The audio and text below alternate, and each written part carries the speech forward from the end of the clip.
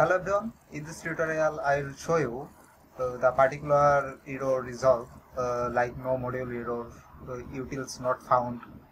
Okay, so for that I actually using uh, Conda environment. If you want to install or resolve it on Conda environment, you need to uh, actually execute this command conda install minus c conda forge python utils. Okay after that when you execute this command it takes some time. Okay that means it actually uh, install all packages uh, on particular utils.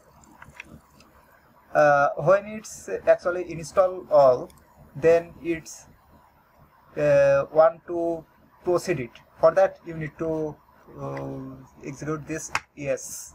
Okay.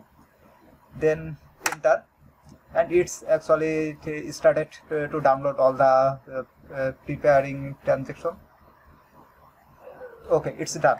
And after that uh, you need to uh, it's actually the utils of python actually downloaded. After that you actually want to install all python fork level from the python utils.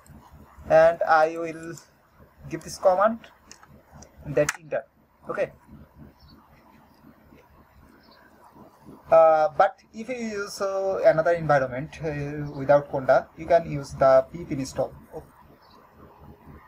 Uh, so it's on processing is ongoing. Let's see what happened. Uh, sometimes it actually shows the merge conflict. Merge conflict means uh, on the another version of python or something like that it's a common problem in Python that uh, version conflict. And you just google it on the on which particular version you actually use Python 3.6 or 3.7 or 3.8 okay? The solving environment is done. Let's see.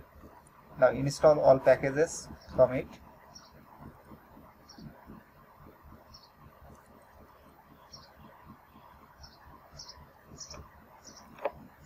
okay. Now proceed is it's want yes or no? So i want to install it. So yes. Okay. So it's python utils 2.3.0 versions. And it's very yeah. Okay it's done. So that's the way you can resolve the utils error so thank you everyone. See you in next tutorial